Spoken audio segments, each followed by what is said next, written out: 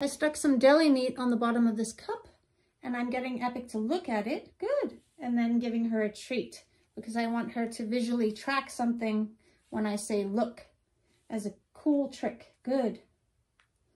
Look. Good. I can also have it on the ground like this. Good.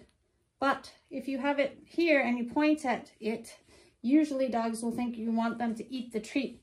So you can use the cue, leave it, good. And then you can start turning it into look, good. Look, good. So eventually I'll say look and then point, good, at whatever it is. But if I use pointing too much, she's going to think that I want her to eat the treat. Good. Good. Look. Good.